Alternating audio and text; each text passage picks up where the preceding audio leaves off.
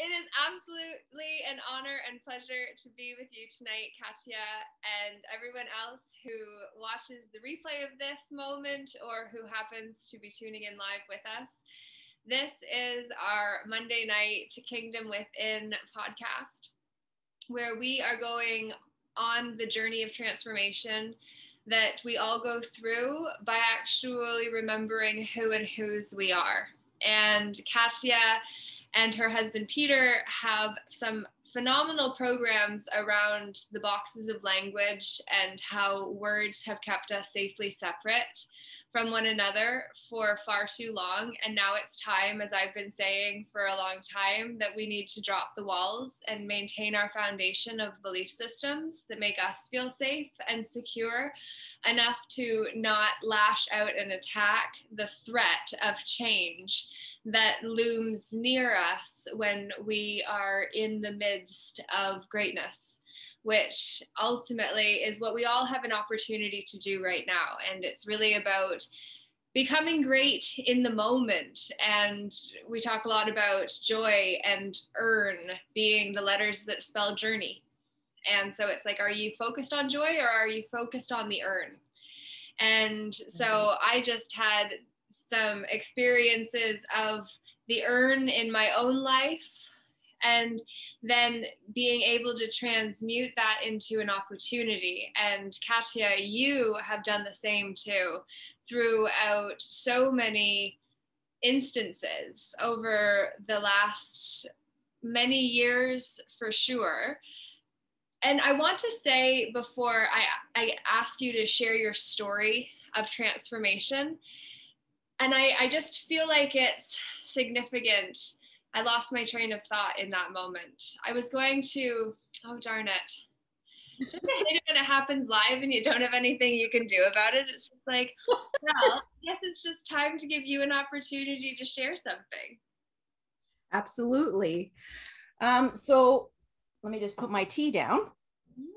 Mm. Um, so let's get right into it, actually, because um, it's an exciting topic tonight. And what I guess I'm going to start with is that, yeah, my husband and I have been on this journey for quite a few years. And I'm going to speak personally for something that I'm committed to um, based on my experience is I'm really in the, uh, I'm very committed to uh, a new paradigm of education. We'll just put quote unquote education. Um, because I've had, based on my own experiences and having three daughters who went through the education system, I really got present to um, how that education system is one dimensional. So uh, I'm going to be going into it further um, in some of my sharing once I uh, talk a bit about what the boxes of language is all about. But that our education system is, um, it's like a spoon, spoon feeding type of education learning. And I'm all about a discovery learning where we're in the adventure of discovery of who we are, how we operate, what our life is for. And so that was kind of the thing that's always been behind me um, in regards to you know sharing information and the teachings that um, you know we've put a curriculum together so um, i guess the best place to start is really just starting with the um, the topic of born into boxes of language and what does that mean? What does that actually mean? So um, we are all born into this world and we have you know family dynamics. We have our you know environment we're born into and all of it's constructed in language so whether we're aware of it or not we're actually being born into this environment of language and these boxes of language words and these different things that we're witness to dictate and they actually construct the reality that we experience. And they're also uh, dictating our ways of being and acting, whether we're actually aware of it or not. And they're so fundamental because um, they drive a lot of the ways we choose.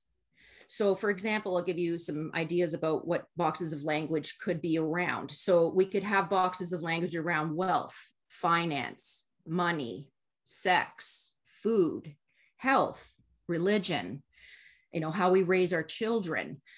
and it wasn't until I really got into um, understanding boxes of language that I really understood how much it was prevalent in who I was being and what the types of choices I was making. And most shockingly was how automatic my life was. Like I was thinking I was making choices, but I was actually, you know, not really making choices. I was actually doing what kind of patterns were um, shown to me as a child. And I just took those on and I started to do kind of the same thing, like my parents and so forth. So um, when I found out about these boxes of language, it opened up a whole new world for me. So, uh, in an exciting way, because it was like the whole world of possibility opened up where I was like living kind of limited in, you know, some of the things I was experiencing. And um, that's why I'm so excited to share tonight because I'm hoping that this might be able to open up and have other people see the same thing and you know kind of identify what maybe is more automatic versus really making that conscious choice in what you're taking on in life. So the other big um, important thing to bring across is contexts because contexts actually frame how we view ourselves how we view others, nature, life, um, God, source. Um, and it's really important to identify, um, especially the context we have for who we say we are. So, this box of language context um, idea and this thing that came across um, in my, you know, in my own discovery, um, I got present to this this idea of who i wound up being versus who i actually am. So when i talk a bit into that what i mean is is when we're born into this world um, we actually um, we're we're very much influenced by our parents by our school by culture by media society.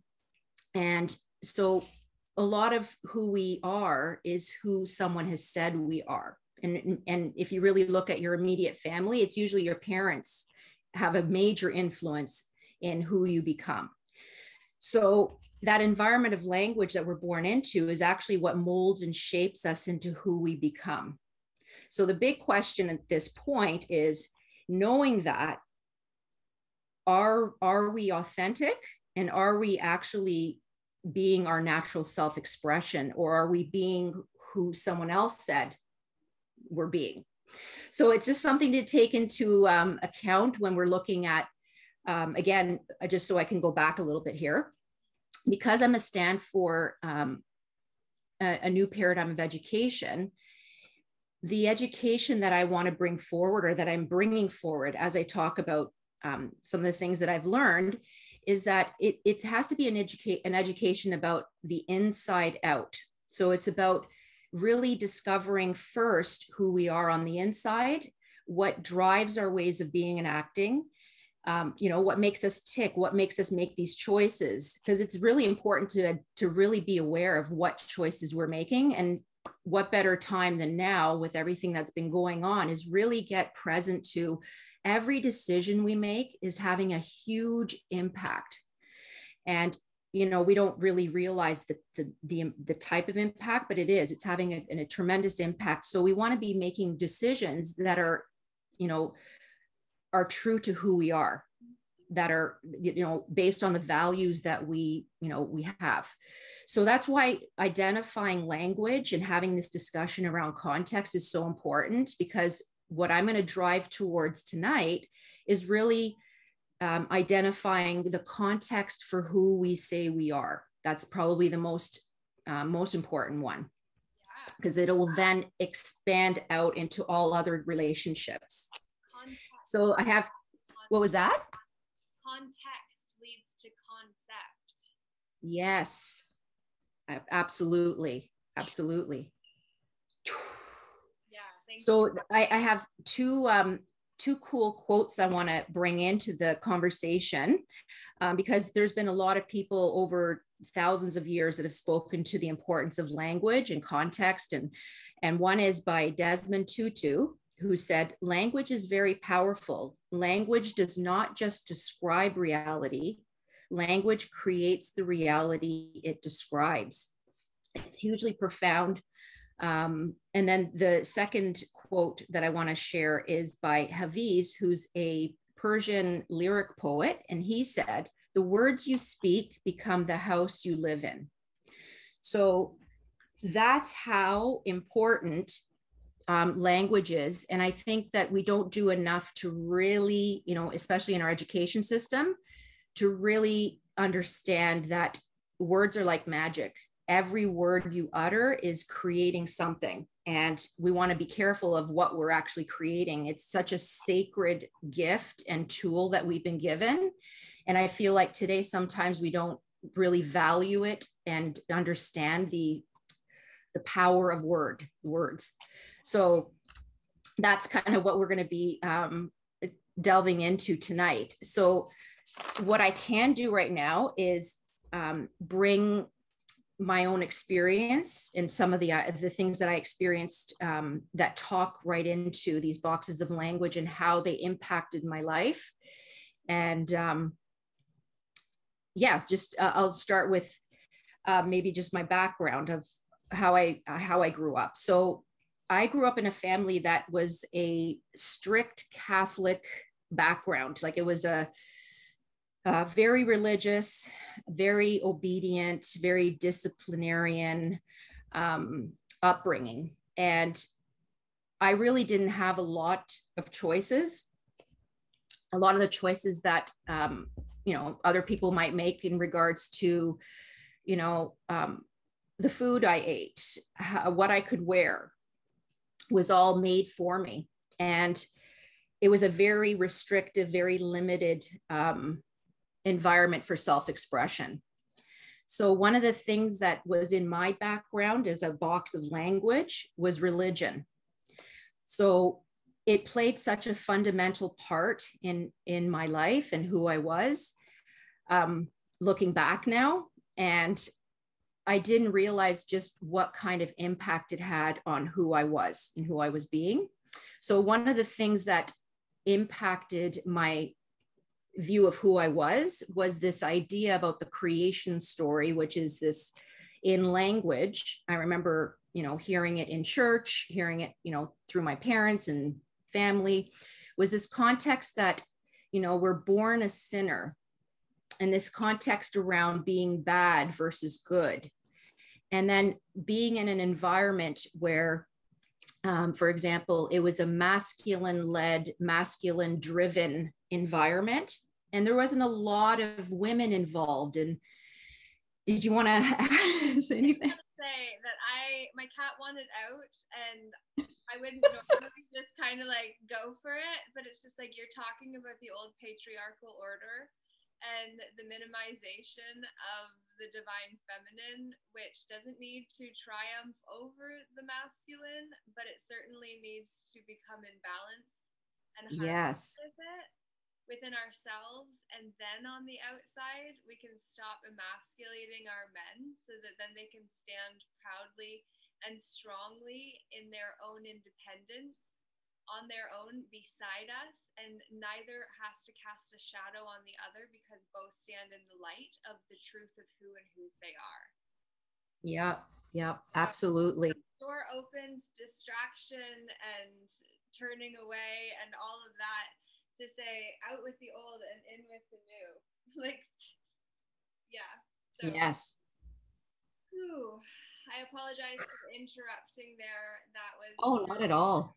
I think the thing that I wanted to actually say that I had forgot was about the fact that you lived a tremendous journey. Like you're telling me your story about all of the boxes, but it was like, what about when you actually surrendered the box that we call a house and sold all of your belongings two years ago and moved to Costa Rica with your husband and got your girls set up as young adults in their own space and then said, Mom and Dad are going off to do what we didn't do when you were little because we couldn't, and now we can, and you're on your own, though you're not. The light came on in that moment. So, your turn, my friend.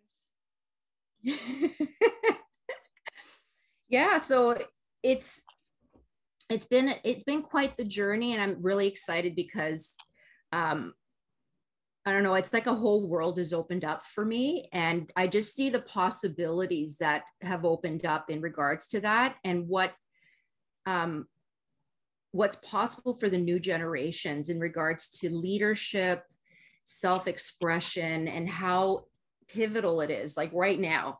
So yeah, it's it, it, it and, it, and again, it's all really related to um, you know language words our perception how we see life how we see people especially how we see ourselves. Again it's always about um, inside out. So once we get clear on who we are and we understand like our true nature how we function if we're being self um, self-expressed it then becomes like a an influence for everything around us as well so um, back to like a the context for um, how I I guess how I was influenced by the religion is there was this context of not being good enough. So that was what I was living under and and, and how I took on life was this backgroundness of not good enough.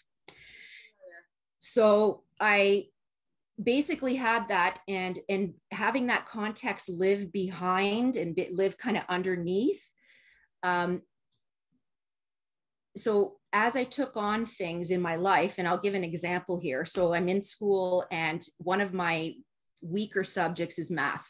So I struggled with math, especially when it came to problem solving. And having that, you know, that context for not being good enough played right into that hugely. So I would take on math and be so discouraged and be like, see, I'm not good enough. And, and I would be so hard on myself. And like, I, I would make stories up and like, just, it would just like spiral into a, a negative situation to the point where my math teacher um, asked me to move my desk beside hers in front of the class and imagine the horrifying situation with that in the back of my head. And then having you know to sit looking towards everyone. And yeah i had this this experience and it was like oh my god i couldn't even believe it. And it was like it you know just the worst you know situation that could have come about. Um trying not to expose this you know not good enough and then here i am sitting in front of the class and everyone sees that i'm struggling with math so what um, i got now after figuring out you know what what this all was about you know that this context was existing and so forth i really got oh my god I made this story up because this was this context I'd created. But in actuality, it, it really speaks to this education system, which is one dimensional. And I was someone who was coming from creativity and I was such a communications girl. Like if I wouldn't stop talking and but when it came to math, it was like, oh, it was like this little block. But I realize now that it was because the the education system had a one dimensional learning style which didn't fit me that you know the way they were taking on problem solving wasn't fitting kind of my learning style so when i look back i think oh my god uh, you can see how if your context is not good enough how that can be created into a worse situation in that example. But if i take change the context to well no that's just because the school the way that it's set up is only you know setting up a learning that's you know one style for everyone and that wasn't my style so then i realized oh my god i had made this big story up and now i had this freedom that came out of this discovery of the context. So this is the type of thing that we can experience when we look back and we you know really discover for ourselves what are those things that had us or have us um, react a certain way, take on these, uh, you know, potential dis- dysfunctional conversations or why our relationships aren't fully working. And if we really look down deep, it's a context that's driving most of our situations and, and experiences. So if we can really get clear on let's talk about anything that's that's dysfunctional and let's let's really focus on relationships because i think that's important if there's a relationship with, for example, your husband or your daughter or your parent, or and it's something that keeps reoccurring and it doesn't seem like it goes um, anywhere new, it's probably because we're coming into the conversation with the same context. So you're not going to create a new situation if you're continuing to bring into the situation or the relationship the same context. So it's just really evaluating what we're bringing into situations and to our decisions um, that create that backgroundness for what's going to happen. And typically, if we don't, we're not aware of this world that I've just brought forward, we're continuing patterns. It's a pattern that we keep repeating that creates the same future. So if we want to create a new future, we look at the context and see if we can transform the context and that can transform our future. oh my God, Katia, that is absolutely spectacular. I wanted to say earlier about relativity. Context is about relativity. Everything is relative. And so our relationships are so befitting because it's all relatives, right? And so it's like then it's like the the the law of relativity is literally in our relatives that have come here to give us the gifts of lessons that other souls wouldn't be willing to take on the karma for, but other souls are willing to love us enough to be able to be that asshole in this incarnation that actually offers the lesson of betrayal that completely changes and shatters and transforms your identity. Like the woman that I was telling you about, Linda in Las Vegas, remember? How yes. Linda, basically, it ended up that I had this amazing experience with a homeless woman in Las Vegas. For two hours, we connected and bonded, and I, I shared with her the sacred sojourn of the soul. And she had become homeless after her man of 20 years had died three months beforehand, who also happened to be her abuser. And because her identity for 20 years had been vested in being his victim and the battered partner of a man that she loved but that tried to kill her regularly, she didn't know who she was when he was no longer in her picture because sometimes mm-hmm. we allow characters into our space that take up too much of our space. They want mm-hmm. all of our attention. They want to control, confine, conform. They want to make yeah. us fit. They want to make us fill out their forms. They want to give us context and make it their context. His story, whose story, whose agenda, who benefits. Mm-hmm. Yeah questions that if we don't ask who's benefiting from this, then why are we not asking such a fundamental question truly? It's so true. It's absolutely um, like what you just brought up in regards to again with with respect to context and how we look at the people that are in our lives mm. and that was another big one for me it was like i took on um, early on and through my childhood into my you know adulthood um, almost a victim like context for you know why i was having the type of relationships and how things were showing up and and again i looked at it like wow like this world's a playground in a way and it's like it's been made in a, in a miraculous way to always have us see who we are through other people. So the relationships that we have um, and how we take those on and how they show up is always showing up in regards to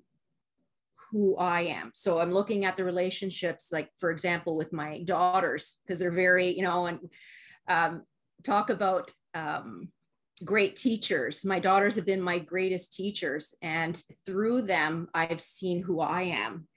And so, in just changing the context for, you know, not, um, you know, taking things personally or, you know, just in how I look at relationships in general, it's more now I'm looking at them as um, what am I meant to learn about myself?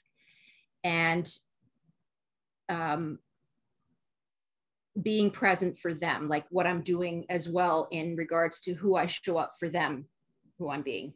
So yeah, just um, it, it, for me, it's just again all in regards to um, the way that I look at situations now, the context that I, I create. And I think um, last week we were talking about um, faith and how faith comes into this as well. And so you would think that coming from a religious background, I was going to be, you know, I would know something about faith, but I realized I wasn't um, connected to faith at all because what I discovered was in living from the knowing, the boxes of just, you know, how you, you, um, prepare yourself or you, in the knowing you want to be protected. And i don't even know if i'm getting this across correctly but what i guess i'm trying to say is um, i've learned to be more uh, coming from faith now um, looking outside of that box that i was coming from. And i realized that faith is actually coming from not knowing yeah. it's in the not knowing intuition yes absolutely it was like one of those mind mind blowing things. Like, oh my God, it's not about the knowing, it's about the not knowing. And then again, even the no attachments, like having no attachments, this world of being in the unknown or uncertain. And I, I've been really taking that on now. And I wanted to speak to the fact that, um, so I was just recently through all this um, lockdown and COVID and so my husband and I got soft evicted from our place. Um, our the landlords needed to do, excuse me, some renovations and anyways we were very we we accommodated them even though it was something kind of almost last minute but we took it on like we do with most of our things and we took it on like a, a, a new challenge and um, with covid underway and everything um, what happened is, is we were very limited with options. So we were put in a bit of a predicament. So what we did was, is we had, you know, we were playing it obviously day to day, but this ended up being a couple of months um, that we were in the search with no home. And so what we ended up doing was we took it on as a learning experience. And we spent half the time in our car and half the time in hotels. And we what we did was um, we decided that we would tour Ontario because we had never really, you know, I've, I've been born in Toronto, born and raised kind of in Richmond Hill, but really led a pretty sheltered life and never got to really experience Ontario. So my husband and I took that on like, okay, we're going to visit towns across Ontario. And it was one of the most incredible experiences that we had. Um, and I was actually shocked at how I took on the whole car thing because I don't know, people might say that I was high maintenance and whatever. And like I have these certain things that I need, but I actually took it on and the what we were able to discover in that experience, I don't think we would have been able to discover um, otherwise. So what I, what I can share with you are different things that we experienced. So one thing that we got to see was um, uh, we had different incidences happen. So we had someone, this, this young boy who was um, robbing or not robbing, he was stealing milk from a Shoppers Drug Mart. And long story short, uh, my husband got into the conversation and discovered that um, his family was um, not doing well. And they had not a lot of money. And he was literally desperate to get milk for his young brother. And uh, the owner of the Shoppers Drug Mart just went off. And he literally um, was being very aggressive and da, da, da. so anyways to long story short my husband and this is where language comes into play he got into this boy's world and was able to discover the situation and he had uh, the opportunity as well to talk to the owner of the shoppers and in you know taking on the conversation was able to have the owner of the shoppers see the situation where he was just you know what you i guess you fly off the handle i guess and think that you know you group everybody into the same type of thing well they just steal and so forth. But when um, peter my husband was able to talk to the owner he actually got him to see this boy's world and see it in a different light.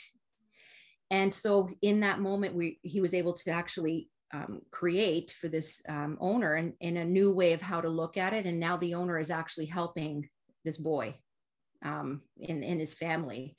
So it goes to show you um, the opportunities we have when we're um, more aware of our environment and then using language to you know um, get into people's worlds. It makes such a world of a difference. And i think that's what's lacking today in a way is we don't really spend the time to really look at and find out what people are really dealing with.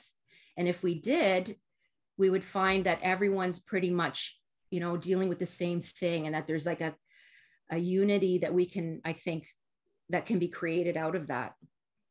Yeah. Just add an extra e to the hue of all humanity.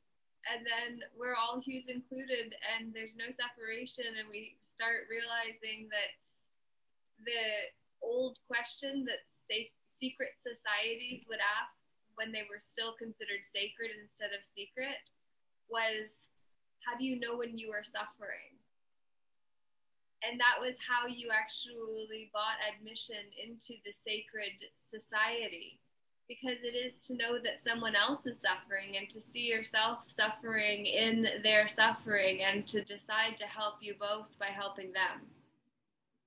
And it's exactly. just like we have stopped having that question asked because the sacred has been monetized and turned secret. So there is a fight between the sacred and the secret. And this is why religion has become so inseparable from God and it's just like, okay, wait a minute. So you're telling me that God is all, all things, God is it, right? But then you're telling me that other people have taken that same idea of the all and put a different label on it, a different status, a different title on the same energy. And because it's a different title, status, or label that's been assigned to the same thing, it is considered to be different. Sounds like legalese to me. Yeah. What is legalese? Yeah, what is legalese?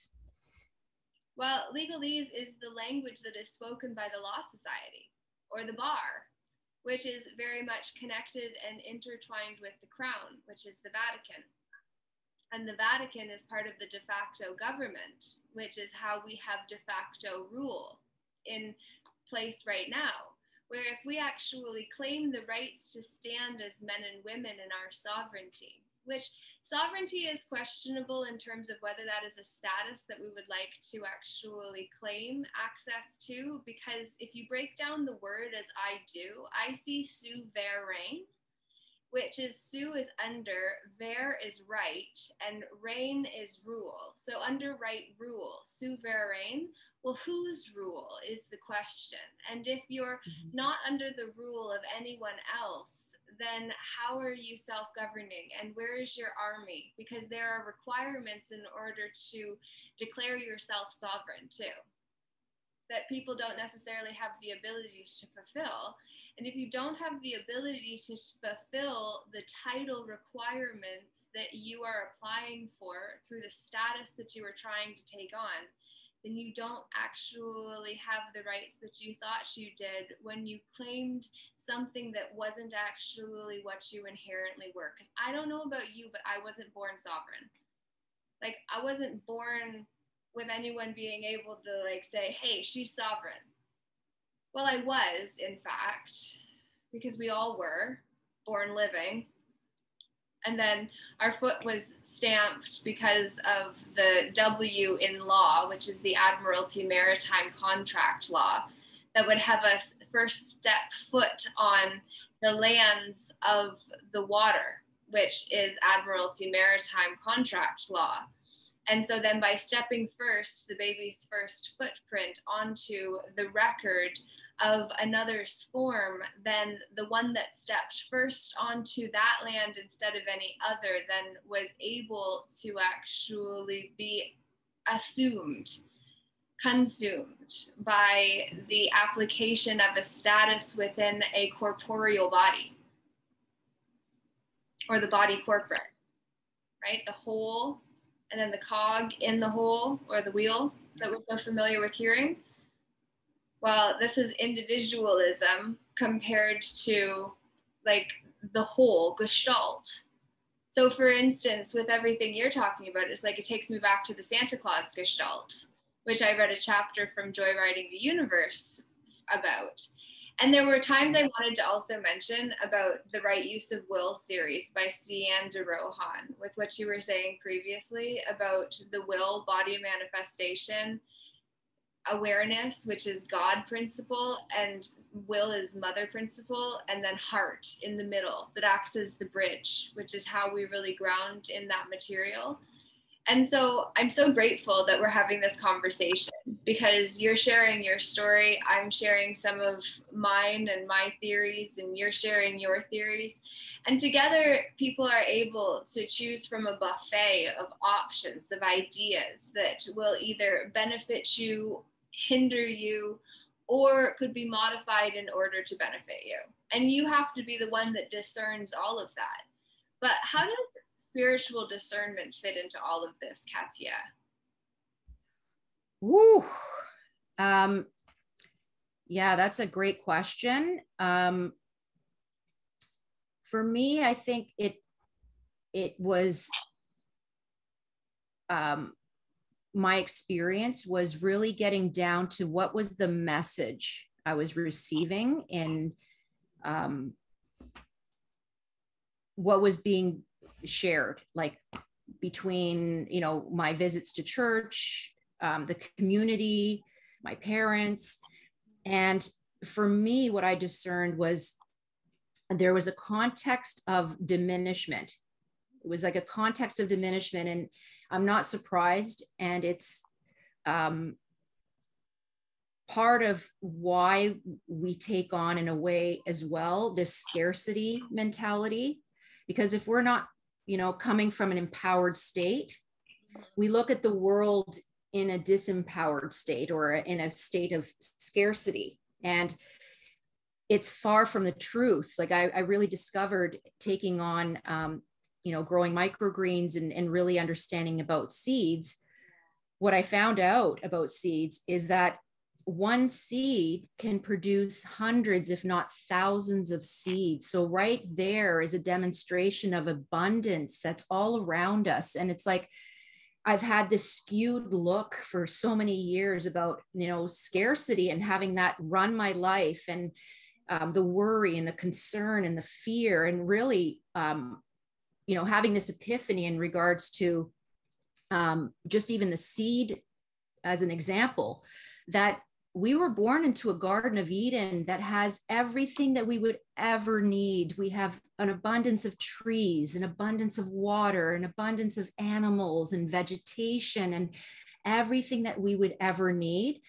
And um, here we are you know this you know we're looking out into the world now and and you know we've we see how scarcity has played out where now we're you know running out of trees and we're running you know we've got water that's polluted. And so it's time right now it's such a pivotal time. And i'm excited because if we change the context even in that how we look at um, you know ourselves again first that we have this miraculous body that functions like a science lab.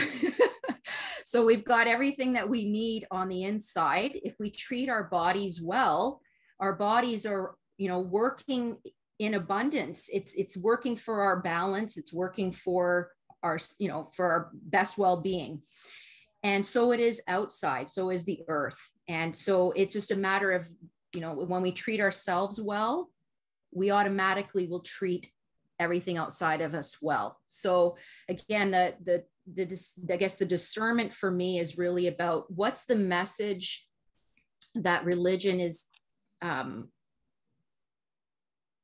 is is communicating fundamentally and for me it was all about that i just really identified with the um, the diminishment context in regards to um, this bad and good and this diminishment in regards to women in a way. So I, I really got clear on that. And um, yeah, I just think it's time that we look at um, all the areas of our life, look at the context for which they, um, how we allow that to dictate those areas of our life, and taking each area step by step allows us to experience, I think, limitless possibility and um, be able to take our world now into a new era um, where we're able to create a new future, a new paradise on earth. And it's all with language and context. And I was going to say, because, yeah, go ahead. I was going to say about the garden in Eden or the, the garden Eden. If we actually look at it, guard, the guard is us in Eden, which is the energy den, the energetic den of us our bodies. And then earth also is the ear with a th to give it some extra power, right? And then if you actually break down the heart, um, I was actually having a conversation with a friend today, and it was just like, especially on Valentine's Day, but it's like two ears make the shape of a heart if you put them together. And isn't that so beautiful if you actually, if we learn to listen with our ears and pay mind and heart and it's just like when you were saying earlier about like getting caught in your head it's just like when you're in your head there was that um i forget i think it was sidney back in university when we studied sidney's work and he talked about noxus and praxis which is knowledge and practice. It's just like you've lived it. So it's like it's went from theory to heart-based lived experience that birthed you in order for you to have a different level of wisdom and insight to contribute compared to when you just have studied it and you know it all. I was like, don't yeah. get to know it all because you can't fill an you can't fill an already full cup.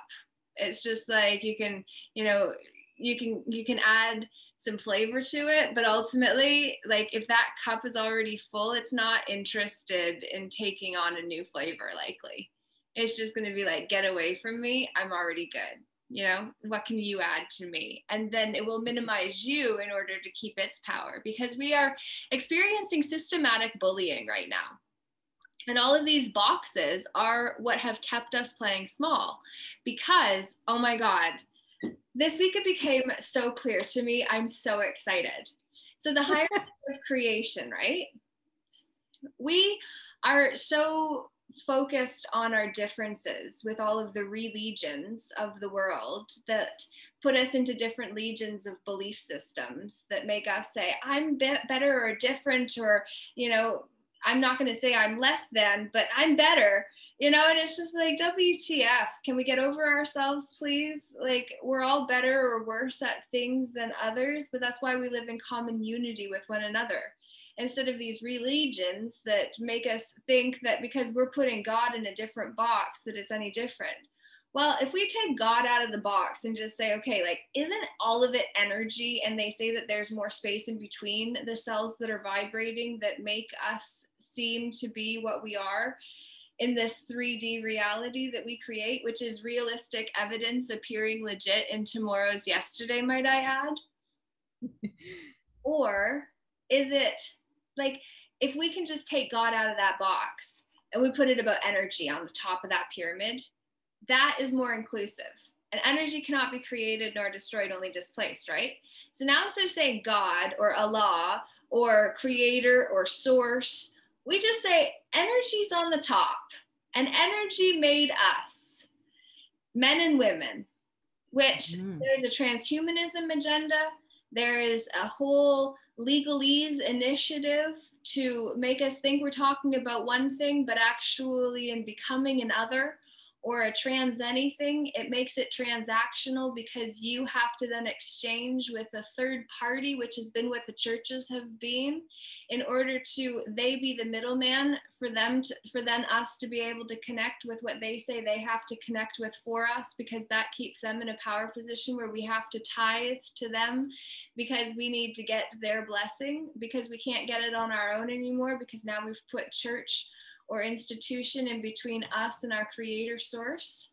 Well, no, that's what happens when in the hierarchy of creation, you've got energy on top, man or woman underneath of that.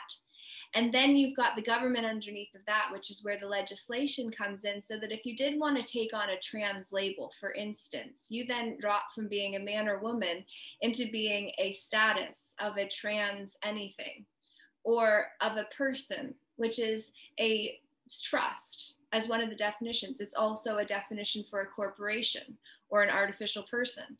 It's many definitions underneath of the definition of person.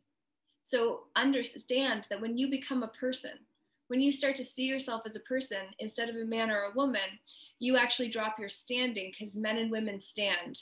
Statuses position themselves to make it look like they are, but they're just like the Wizard of Oz with Dorothy, right?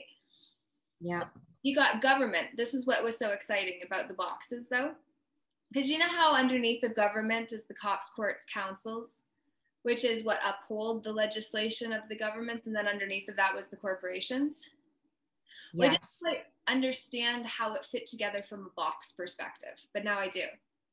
Because basically, if we look at it from a de facto government perspective, which is what we have instead of the de jure government that is of the people, for the people, by the people, this is how we actually stand and walk on common ground together using common law to enforce our common law, which is our unwritten and unlimited rights as men and women with all rights reserved at all times that know how to claim our rights and then stand on our claims and then enforce our claims for any man or woman that is trespassing against the claims that we've made about what we believe that we have a right to do, which is what all of right. the truckers, for instance, need to do any trucker that is involved in this, if you're going by the designation or a status of a trucker or a driver, and that you've registered your vehicles instead of just having it recorded, which means that it's recorded if anything were to happen to it, but the property is still actually yours compared to when you register it. They can be taken away at any time because you signed over authority,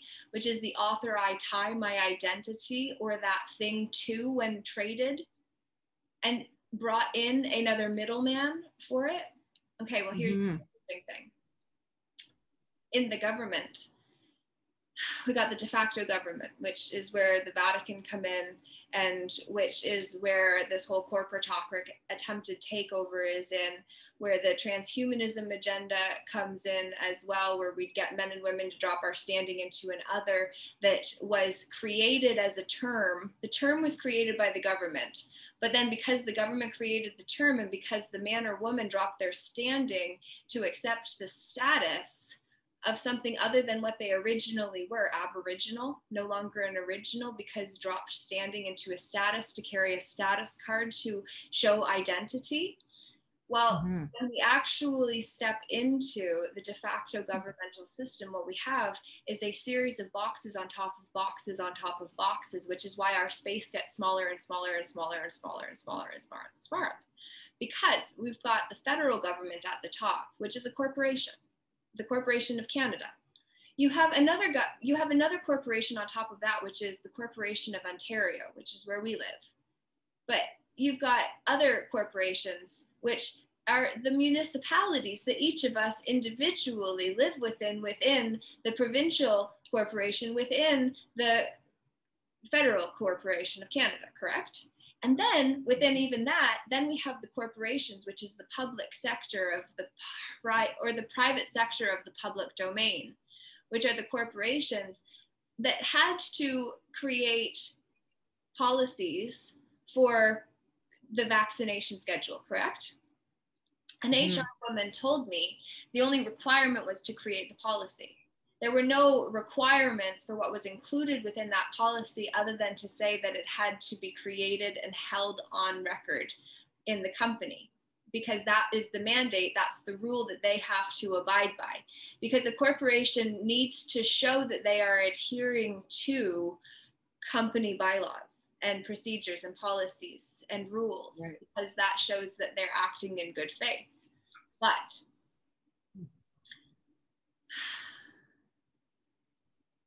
I forgot what I was going to say. Do you have anything to add at this point? Well, I was going to say, like, I know that um, I'm not sure if you wanted to share it with with us tonight, but I was going to say, what was your experience? You went, I understand that you were um, in court or you had a, a, uh, a proceeding on Friday. And I was going to say, maybe share your experience in um, what your experience was of the language box of language that you went in that you experienced in in that okay fair. experience. Thank you. Thank you for bringing that perspective. I wouldn't um, yeah so basically when i went into court it was a zoom room not the official one. Um, but basically when i showed up for the hearing for my matter to be heard, which I've tried to address via lawful notices, which have been sent via registered post. I have sent 15, including a claim against the man acting as prosecutor for bringing a false claim in front of a public court against me, the woman. Because I have clarified that I am the woman commonly known as Laura Hamilton, not a, not to be confused with uh, the corporation or the trust of a similar name and also specified that I do not consent to being a surety for the person, which it is we are implied to be our person until we clarify otherwise. So basically, in the court when they do the roll call to call you for your role to perform because you don't get to be you. That's why you have to take the stand and start, instead of have a standing, right? That was kind of like a click last week of like, oh yeah, you know what? We don't. Nobody has any standing in a public court because it's all a charade like you got a judge wearing a fucking wig pardon my language but the whole charade is pretty ridiculous that you're supposed to call your worship. Well i don't worship any of you your worships thanks. Like pirates talk about language. Pardon? Talk about language. Yeah no pun intended. I was just about to say. I was just about to swear again. Almost got three in a three in a minute um, yeah, but seriously, like worship and your worship, like your worship is approaching. Which flag would be most appropriate for me to be able to overtake the vessel commonly known as Katia Palmeri? Or what flag would most easily be able to deceive the woman commonly known as Laura J.E. Hamilton in order to have her drop her standing, which is her guard, within the energy den of me in order to invite evil in because it has to be invited in. Mm-hmm. And so in the court, when I was called for my role, I said, I am here for that matter. And they said, okay, what is your name? And I said, I am the woman commonly known as Laura Hamilton in my private capacity with all common law rights reserved at all times, here for that matter because what I did not do was drop my standing, which meant I did not take a knee to any other corporation or their jurisdiction, which juris is of right or of law, and diction is what a spoker wrote. So I didn't mm. agree to anyone else's rules because I didn't accept any joinders of my name to any status or implied status because I clarified that I was not to be implied to be anything other than what I am, which is a woman. and then what so what happened when you did that? Like what what how is that different than what most people go in and, and do? Like well, how did it people, most people get a lawyer to represent them which means the lawyer can only ever represent the man or woman as the legal fiction. So when I showed up at court, I was the only woman present at court that day because mm. I was standing as I truly am. True lie, I am a woman. So I stand of my own two feet, and I also reserve the right to maintain my standing on matters that I believe in with conviction and that is my standing. And everyone else that is there under as a ward of the out of the court for instance. So anyone that gets mm-hmm. represented by a lawyer is a ward of the court which means that they are the equivalent of a child with an abusive parent. The parent is essentially her majesty who is the one that's pressing the charge who has hired the prosecutor and the judge and also is biased in choosing a jury. So the cor- the the corporatocratic takeover is basically a rigged system that anybody that has access to the secrets had to ultimately swear an oath of allegiance, first and foremost to the bar or the crown, in order to agree to protect the system at the expense of the individual. So, any individual such as myself that is standing as a woman fully present and not needing any representation, which they're looking to do because if they can get me to show that I am not competent to be able to make decisions for myself, then they can evoke the Mental Health Act and then have my sanity questioned, for instance, mm-hmm. right? Which is what the terrorists, I mean, the truckers need to be aware of with this convoy. I'm not implying that anyone is a terrorist that is involved with this initiative. However, I am recommending you be aware so you can beware of the application of the status of a terrorist to your person because mm. that is another status, which is another box within a box within a box within a box. So going back mm. to what I was saying about the HR woman that told me about the requirement for a mandatory vaccinations uh, policy. The only right. requirement was the creation of the policy. Everything else within that was a recommendation. The problem was is that the system also convinced everyone that only legal professionals can handle those kind of matters because everyone else is too stupid right? Because not good enough. We've been trained mm-hmm. to not think that we could because someone else can do it better, clearly. And so then all of the men and women acting in the corporate positions hired out the policy creation to a consultant that oftentimes was paid by the government to create something that conformed with governmental protocol but that actually turn the requirement or the recommendations into requirements within the corporate policies. So then recommendations were made to become requirements at the corporate level, which was then imposed by the municipal or provincial or federal governmental level. So you have four boxes over top of the individual who has dropped their standing from being a man or woman on top of all of this in the private to then being part of the public charade. So then you become the person that is in the box at the bottom of the pyramid in the center of it that's compressed by all of these boxes of the federal, provincial, municipal, and then corporate policies, which is why anyone that has actually maintained their position throughout all of this have done so on tentative grounds because the thing that people need to also remember and it is nine o'clock so i don't know how you're fixed for tonight or whether you want to uh, wrap up or whether you want to go a little longer. Um, i think that this conversation is vital and also mm-hmm. i respect the fact that we've been at it for an hour so.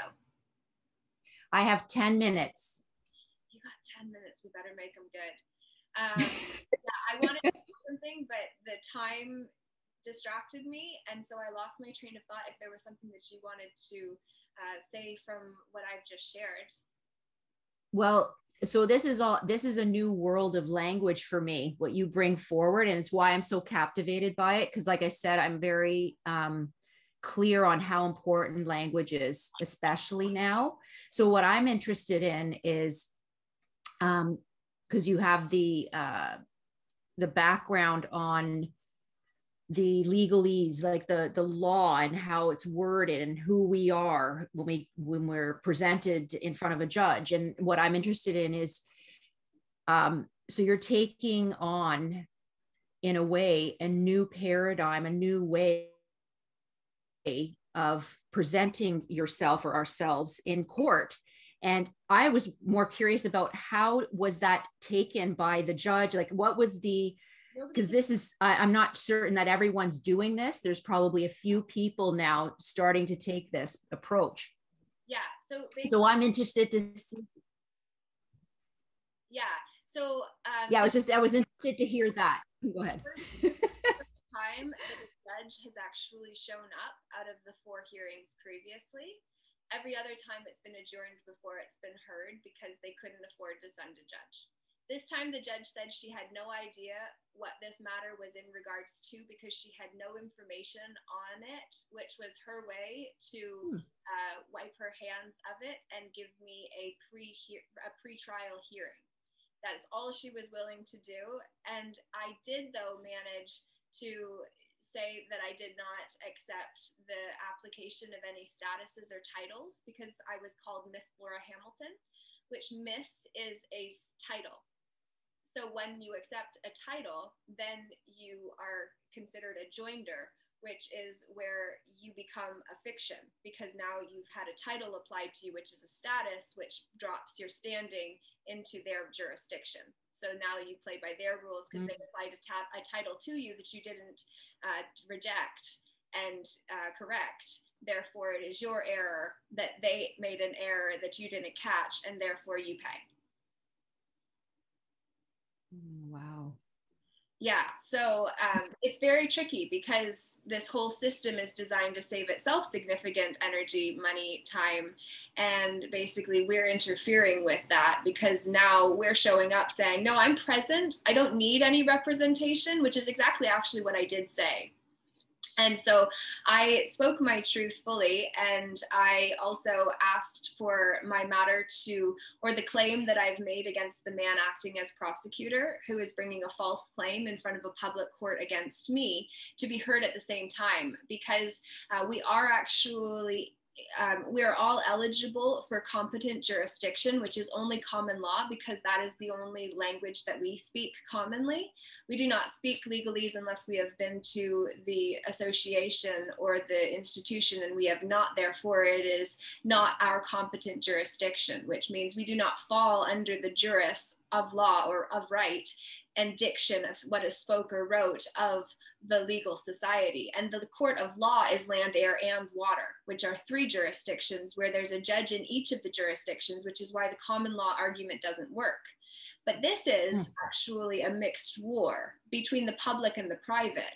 And when we catch on to that fact, then that's when we realize that when we're standing on common ground using common law to enforce, that which we are making claims about and in reference to lawfully exercising our rights through practice that's when we turn this game around. That's when we can start holding men and women liable in their private capacity because we say, you take your suits off if you want to play with me. And if you want to speak in my court, which we have the ability to run a concurrent court with common law and whatever other law is being worked through. The common law argument is just the common or the, the common law, and then you've got the uh, canons and the contracts also being judged in that same matter. But if you remain in your private capacity, you actually stay out of the public court where all statuses are applied. So if you can actually learn how to stand in the present moment, which is the syntax we have to get back to, which syntax uh, was a definition that we can go into another time around uh, the joining together of meanings to the words and the letters that are used to make them. And all of these things are so fundamental. But essentially, the biggest thing to remember and the visual that kind of came together here tonight for me is that within the hierarchy of creation, energy's on top, man or woman's under energy because we were made in its image and likeness. And then we created the government in ours to make our lives easier. And then the COPS courts councils are the municipal governments that essentially uphold the legislation for the provincial and federal governments because while we're all confused, all of our provinces are actually sovereign which means they're independent already. So all of the separatist movements, you've already got what you want. Stop fighting for it. What do you want now? Like, what do you want now that you got what you want? Woo! Right? of course. However that goes. So anyway, corporations at the bottom. But if you look at the government as being the, prevent, the, the federal government, the provincial government, the municipal government, the corporate government, and then the person at the bottom of that inside of the little cell, that's what a person is that is what a status is when you agree to go by your legal name, which is your last name, not your God given names, which came above government and before government, therefore is not owned by government, though is joined to the last name, which is the legal Roman last name. When we actually recognize all of that, that is when we see that we are not our person. We are the man or woman that would have to drop a knee, which literally throughout the centuries, that's been what it's been about, right? Mm-hmm. Well, now absolutely on a status instead of stand. So I made it's- my standing, and I have a pre-hearing trial, or a pre-trial hearing, May fourth now. So I was so thrilled because before I signed off, I couldn't believe it, but I just had to because I couldn't resist, though I could have if I wanted to, but I didn't. So I did anyway. And basically, my final words that I got to speak on the court for public record is May the 4th be with you.